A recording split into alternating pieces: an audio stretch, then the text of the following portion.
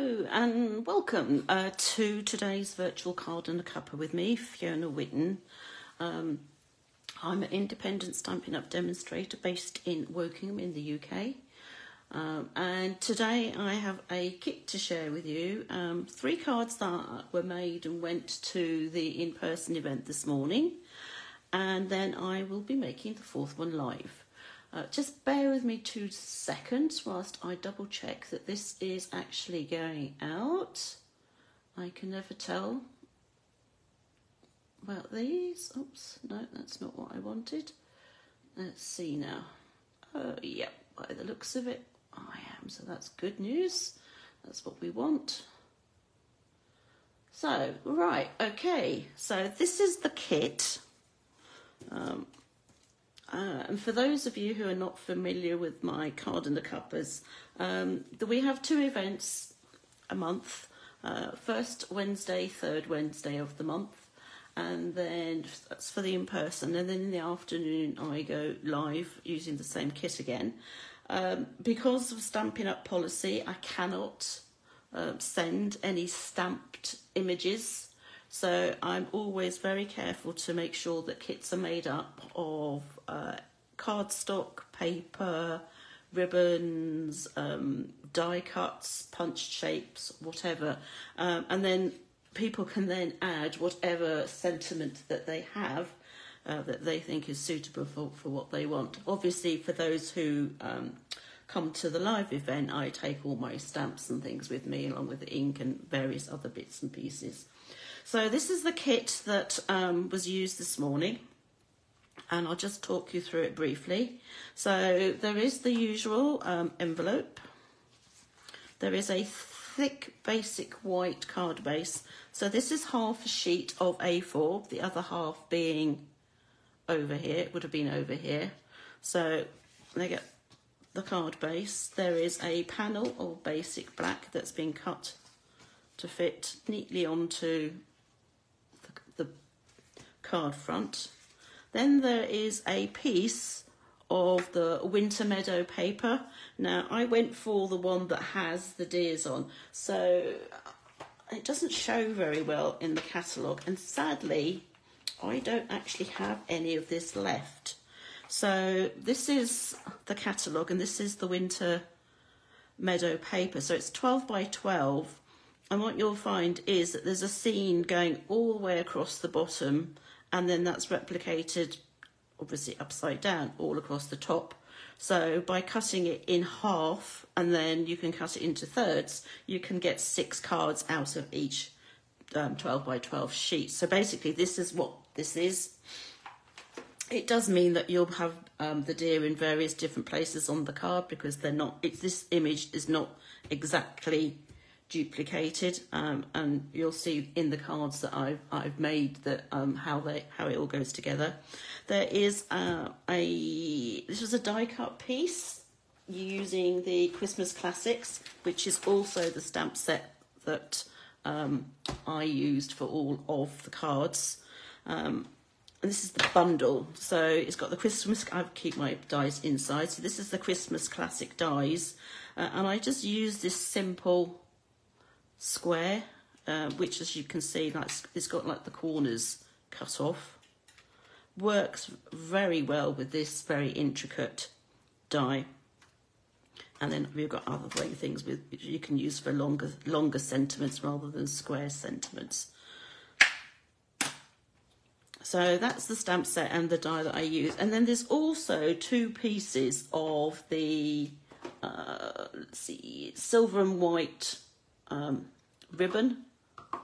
So this is, um, you can see can see through it. it ties really nicely. Having said that, um, I know people aren't always um, keen on doing bows and things like that. So the reason I cut two pieces will be apparent in a second. So that was the kit. And I know you guys always like to see what I made. So this was the first card that I made. Um, and I always call the first one the let's throw everything at it. So basically it has everything on there. So it has the base card, the piece of basic black, full piece of the papers. This is what I was saying about the deers are diff- in different places depending on how you cut it. So here, this one's sort of going off, but that's okay. I, I quite like that effect. These are the two pieces of ribbon. So what I did was I um, just wrapped it around uh, vertically. And then the second piece I just used to tie a knot.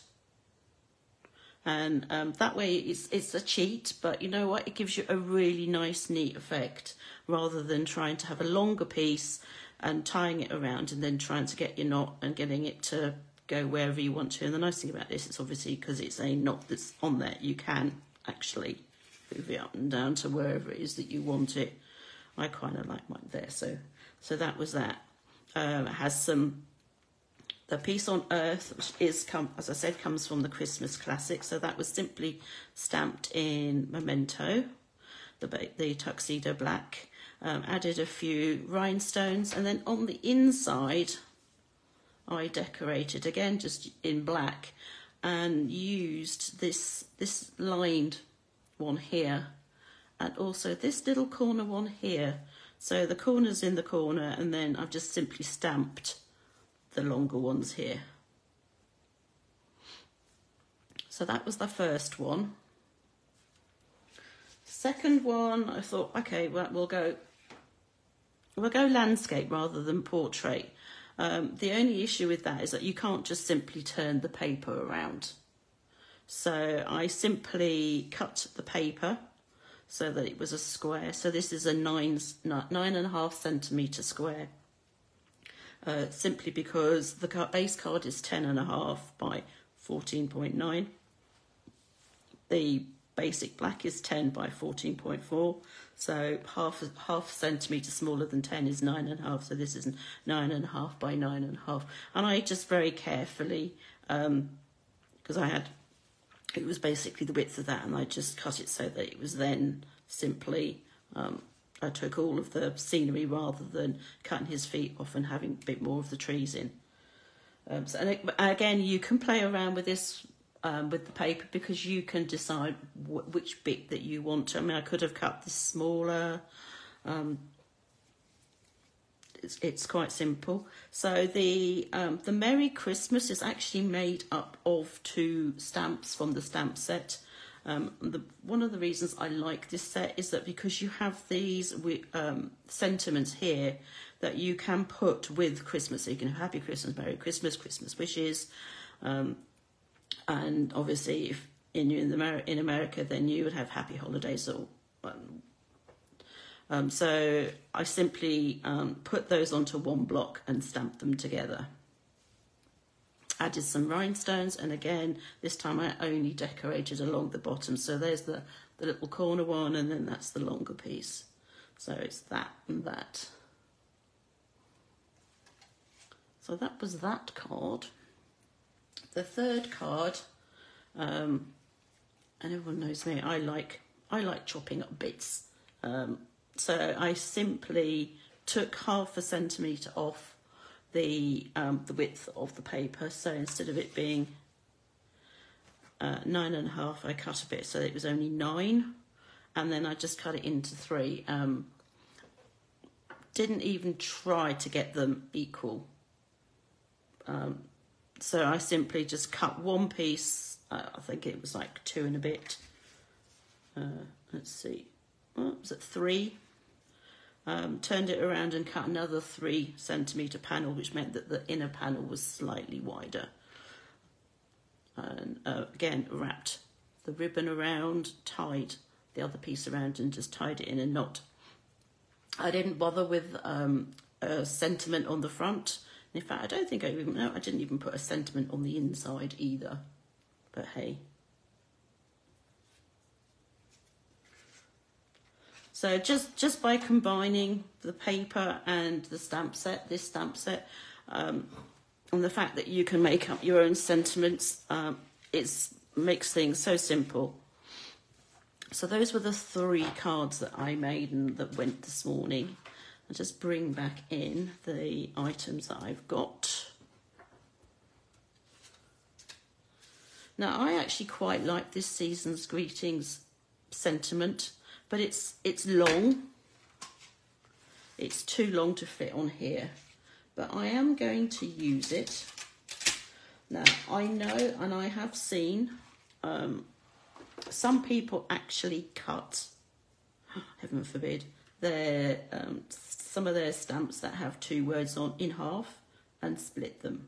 But I'm not going to do that. I kind of like keeping mine as they were. But I do know that seasons will fit on there, and I do know that greetings will fit on there. So what I'm going to do now, you can, if you're not sure about about this, just simply block out each. Um, excuse me, each word um, using some washi tape or you could be brave, which is what I'm going to be doing. Uh, let's see, which word do I want to put on first? I think I might put the greetings on.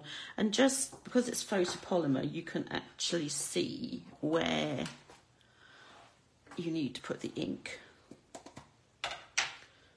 So you can just simply ink up the centre bit, one half of the sentiment that you want. So I have just inked up greetings. And I just realised I needed to have something underneath this. So I'm just going to use a catalogue because that has a little bit of give. Being photopolymer, you need need something with a little bit of give on it just to make sure that you um, get a good impression. Let's put a bit more in. So let's see. So I'm going to put my greetings. I I'm going to put it there. Hopefully this is straight.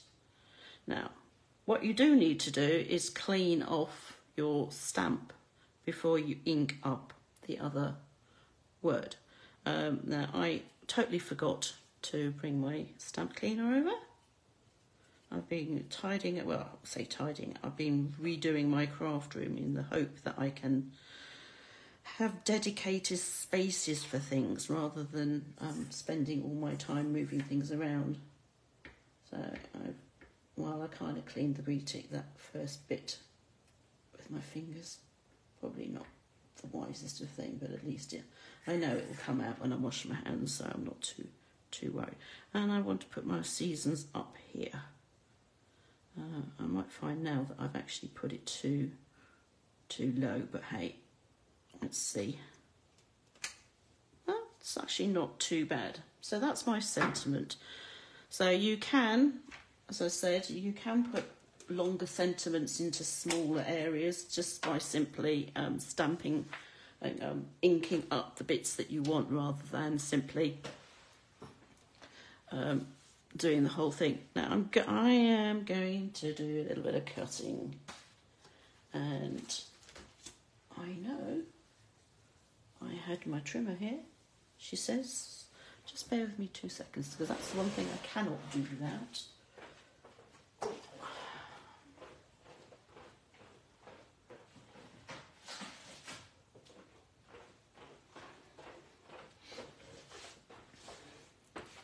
So, one trimmer. Now I know that is uh, nine and a half. And I'm going to cut it so that it's actually eight. So I'm going to take off, um, let's see, eight and a half. Yep, I'm going to take off that bit there. This is what I was saying earlier about the fact that you can just trim bits off to make things, by taking things off. I'm just being careful and sort of planning it. So I've got my deer, that's now eight centimetres wide, and I think I'm just going to go eight centimetres tall, like so. And then I'm also going to cut my basic black so that it is, I'm going to cut it so it's, I could do it 10 by 10. Let's do that to start off with. Let's see how it looks. I don't think it's what I want because it will give a, quite a large border around it kind of like a, a photograph but, so I think I'm to go That was 10. I think I might go 9 by 9. So I do have a fairly large border around it, but not an absolutely huge one. So that's better. Like so.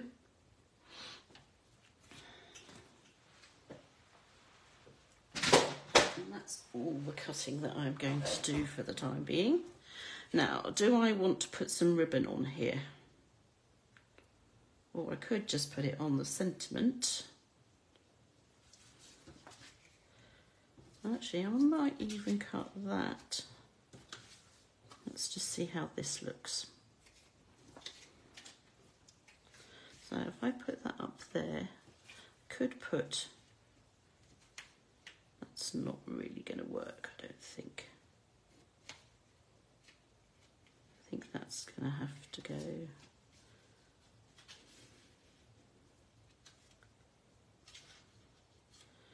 This is where you kind of have to start thinking about things.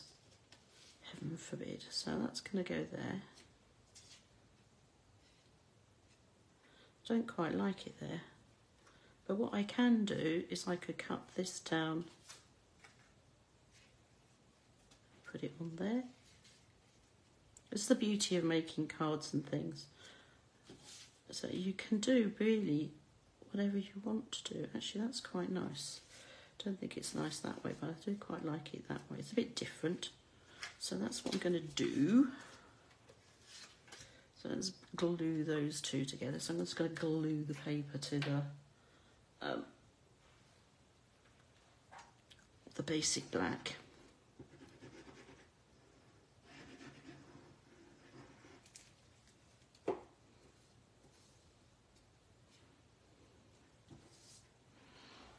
see if we can get that in the middle. So Just using Tombow because I can then move things around if I don't get it completely straight, which I don't often do that first time. So if we put that there, that maybe needs to go up a bit. Or Let's see. Let me just tie that in a, in a knot around that. It's usually a lot easier to do when it's fixed down, but hey, willing to give it a go. Right, there's the knot.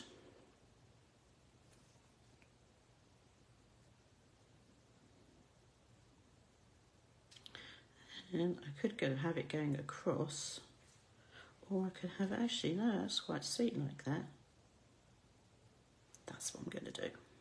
So I will use my ribbons after all. I'm going to take this piece off first. And just fix these on here. So, um, don't do what I did this morning, uh, which was forget to put in some tear tape or some glue dots into um, the bags. I didn't actually get to go to Card and Cuppa this morning um, because my boiler decided it was going to give up the ghost for some reason. Don't know why. Just decided that overnight that it didn't want to work anymore. Um, I wouldn't care, but I actually had it serviced yesterday, so that was a bit of a pain. But hey, it did come out pretty quick and fix it. And uh, I still don't actually know really what went wrong, other than there was a switch that got turned when it shouldn't have been turned off. So, but anyway, I've got I've got heating and hot water again, so that's the main thing. So fix that around there. I've probably gone to town a bit too much with the old tear tape, but hey, I've got a little bit here left there. Don't need all of that on there, and I probably could get away with just. Um, let's put this on here first. Now I'm still going to put that sentiment on. I'm just going to put this on with some dimensionals.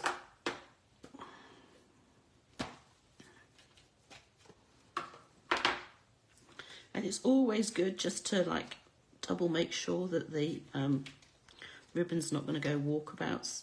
So if you use a few dimensionals just to stick it down as well, um, that will ensure it decide if it, it's not going to unravel. I don't need to put dimensionals everywhere on this. I know, I know there are a few people who like doing that, but I'm not going to. Right, so I could actually turn this to, maybe that's what I should do. Or is that going to be too much like the other one? I guess it is really. Uh, no, because that was all black.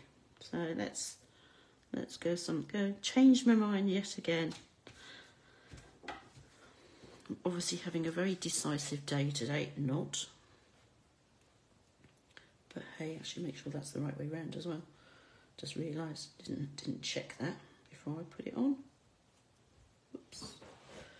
Um, I just dropped a bit of ribbon, but I have some more here. I'll get that in a second.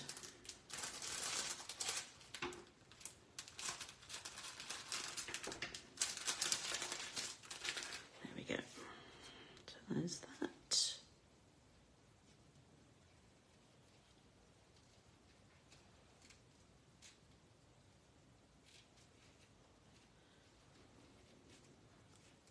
And as I said, you can move this up and down to your heart's content as to how you want it. And then obviously trim it how you want that as well. That's that. There we go. So now I've got a season's greetings here. So I could just put that on there like that some more dimensionals. Or we could put it on there like that, which is actually quite nice as well. I think that's what I'm going to do. So see roughly how how much space I've got. So I probably want it to go from there, so about five and a half centimetres. If I cut it too long, it doesn't matter because I can always shorten it. If I cut it too short, then we've got a problem because it's not so easy to um, make it bigger other than going to cut a completely new different new piece, which I don't really want to do. So we've only got, oh, well, see, did I actually do it?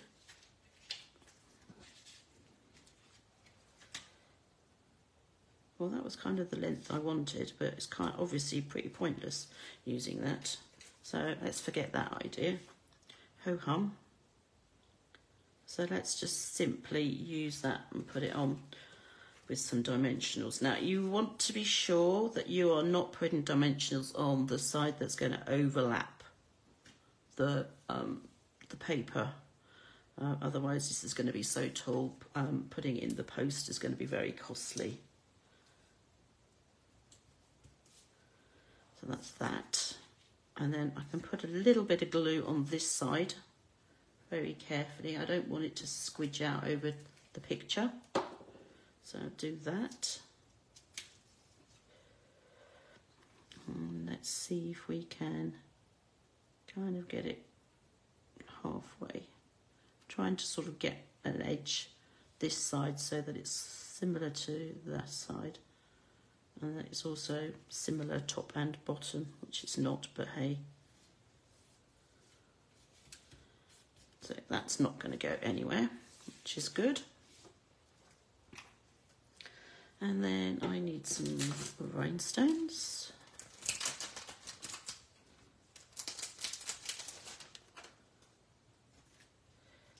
I always tell people don't think too much about where you're putting them, just simply put them on.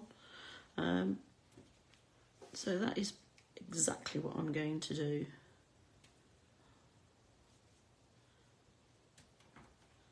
And I always like to put an, an, odd number on. Someone actually sent me a message the other day saying, why do you put an odd number on? And apparently, um, odd numbers sort of draw your eye to something. So, um, whereas if you put an even number on, your sort of eye starts to wander all over the place. So that's the reason for putting an odd number of things on. Um, it just draws your eyes to the actual space. So that's that. And then I guess should quickly do the inside. I probably should have done it earlier. But hey, and cherries are really not that um, appropriate. Um, I say cherries, they're actually berries rather than cherries. I'm just going to keep this simple by just putting one in the corner, one in the corner on the bottom. Could put one here, but that kind of makes it a little bit too complicated. So there's that one, and then I'm going to do this one.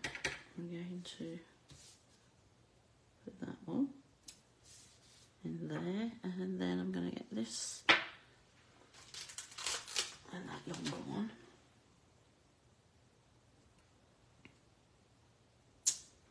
Again, ink it up. Try and get it so that it's sort of level with those these end ones here that are kind of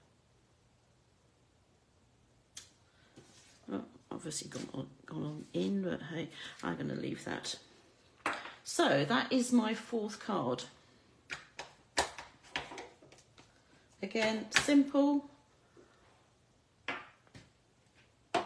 So I've just got stamps, ink and paper really. And obviously this bit's die cut, but you could just cut that out yourself simply by using a trimmer. So that's that one. So that was today's card, for this afternoon's card I should say. And then I need to find the others. Put that one there, put that one there, and that one there. So hopefully you can see all of those. So those are the four cards. So this is the one that I've just made, and then these three here are the ones that went with um, to the card and the cuppa this morning. So just made. And then these three other ones, as I said, from Card and Cuppa this morning. So I hope you've enjoyed watching that. Um, if you've got any questions, please uh, leave a comment. This will go up onto YouTube later in the week, and photos of all the cards will go on here onto Facebook. Um, hopefully um, tomorrow morning. Um, things to tell you about for this month. Uh, so there's a new kit in the kit collection starting today. And then next week, there are some new items going in the online exclusives on the uh, the 7th. Uh, and I think that's about it for now. So um, have a good week. Next week, stamping and creating. So I hope to see you here at 2.30. And um, have a good week. Take care. Bye.